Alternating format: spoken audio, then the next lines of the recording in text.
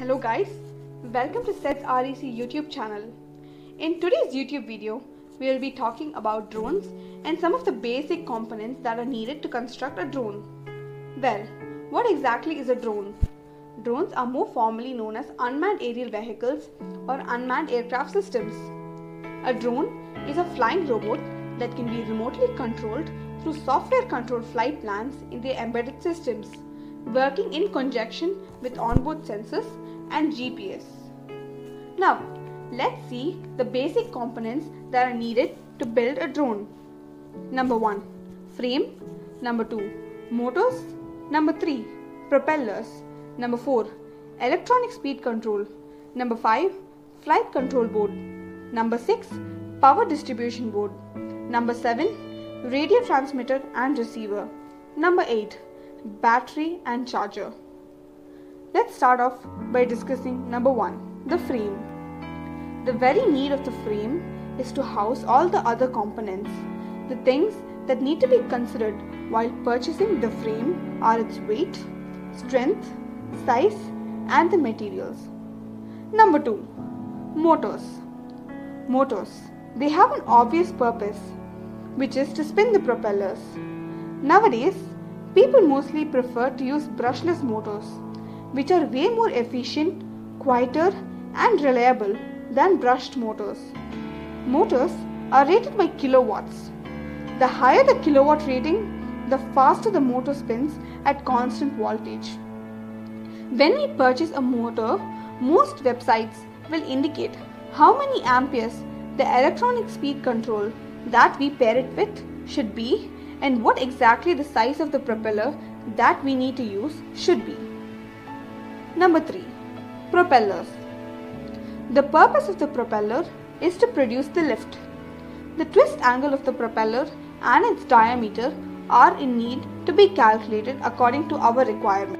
Number 4. The electronic speed control.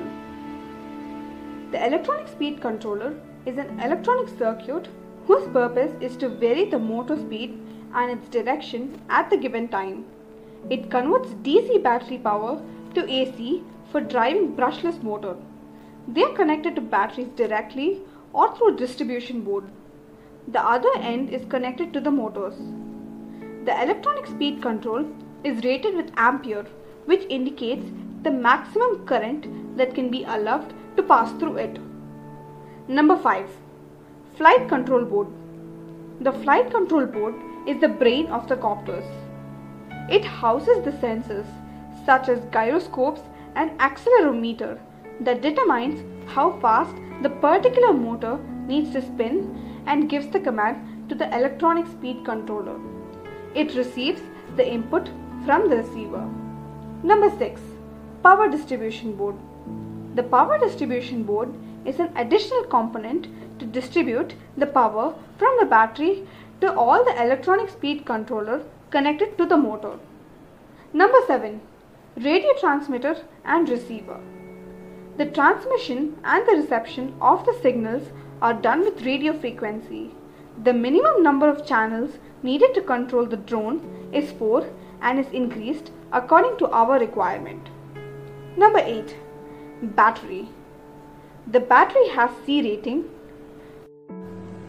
and the power rating in milliampere hour. The C rating indicates the rate at which the power can be drawn from the battery and the power rating describes how much power the battery can supply. Well guys, hope you enjoyed this part 1 video of ours which is all about the basic components that are needed to build a drone. In our part 2 video, we will be talking on how to build a drone. So don't forget to click the subscription button below so that you will be notified when we update this new video. And don't forget to follow us in our Insta page. The links will be given in the description below. Thank you.